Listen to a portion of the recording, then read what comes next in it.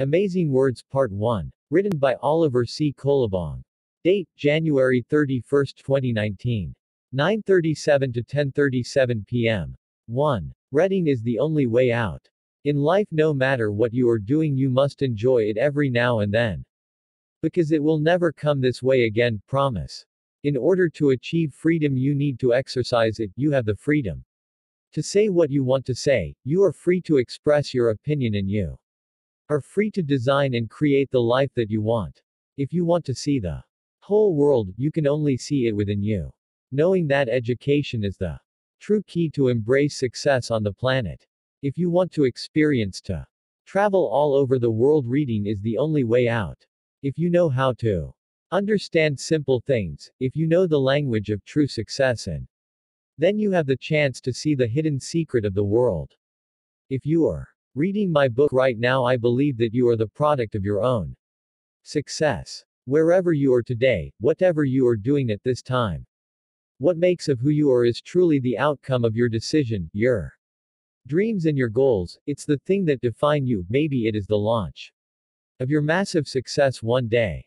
Just continue what you are doing at the very moment of your life, put all your efforts and your heart in everything you do and you will be success in the near future.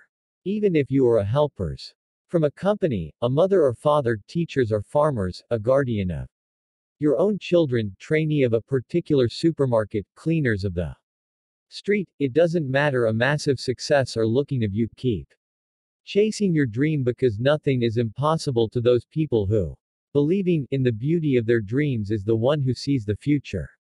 If you want to achieve a simple thing in your life, all the answers are Already inside of you. You already gain the true power of success, the only thing is how smart you are to create something that already in your mind.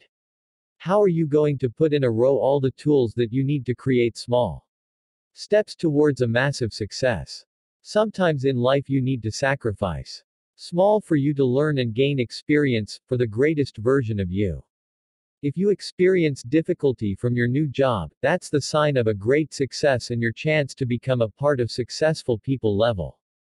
Don't lose your hope, especially your faith because it is in your hand to create your own destiny. Always remember God will never lift up his little finger for you. The world is wonderfully created for those who know how to understand the language of the reading is the only way out.